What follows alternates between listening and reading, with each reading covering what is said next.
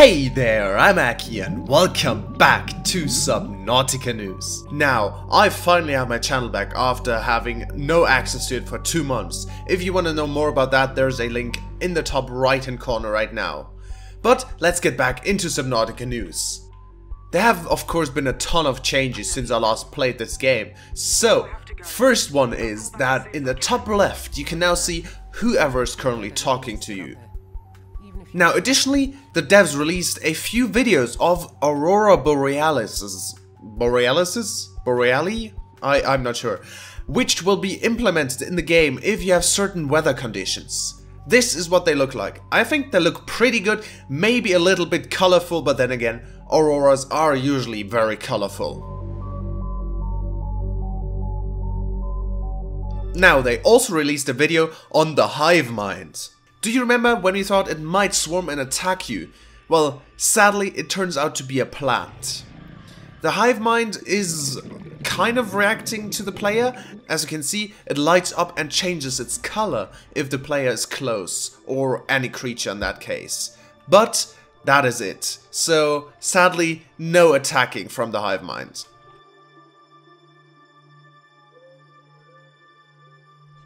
There's now also a new voice log for when you launch the rocket and it gets destroyed by the alien shield. I won't read it out but I'll summarize it for you. So basically, once the shield activates and the rocket is destroyed, the director of the Vesper of course wants to know what's going on. Then, suddenly, Jeff intervenes. Jeff tells them that he's now in control of the planet and any approaching vessels will be destroyed. He requests the Vesper to move to the next solar system and tells the director he infected the Vesper with the Kharaa bacterium and the only hope is to get enzyme 42 from him. Now why does he do that? Because, like the director, he wants the living architect.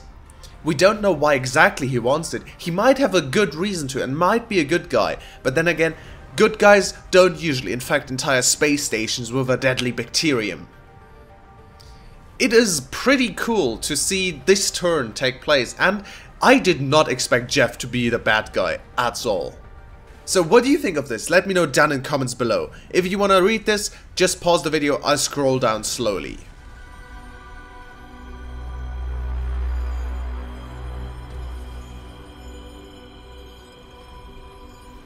The crashed ship now also has a proper texture with colors and everything, and we now know its name. Mercury 2. Now, we might hear more about this ship in data entries or maybe we might meet a survivor, you never know. But this is the new crashed ship. And yes, all parts have been retextured, so crashed ship 1 up there, this part crashed ship 2, and even the small one back in the purple vents now have proper textures.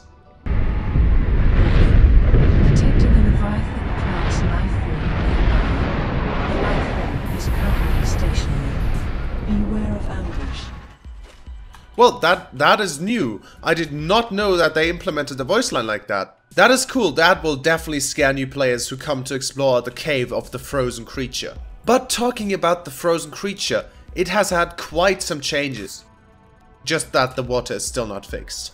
Apparently, this is all now destroyed. I do not know what happened here, but definitely something went wrong. Now I'm just curious, does the elevator work still? yes, okay, the elevator at least still works, though we are way faster like this. As far as I can tell, nothing else changed though, so it remains a mystery what exactly caused this thing to be destroyed. I mean, it would be really cool to see this creature unfreeze and be alive, but I just really doubt that the devs would do that. Though it would be cool. It, it definitely would be. Modders, come on, come on. okay, moving on. Now lastly, we have new buildables, such as the fridge, which will keep your items cooled and fresh. The shower, which does absolutely nothing, but hey, you can turn it on.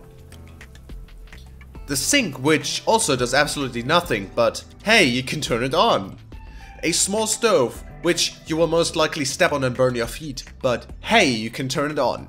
And the toilet, which also provides no actual use since you don't have to go to the toilet, but hey, you can open and flush it. Isn't this amazing? I love it. Now, as far as I know, that was everything that changed during the months which I was not able to upload any videos, but it is very likely that I missed something.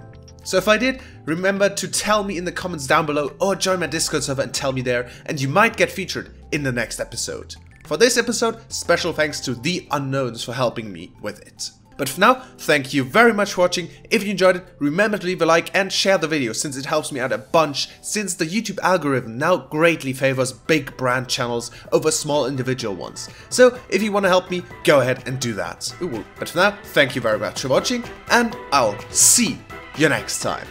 Goodbye!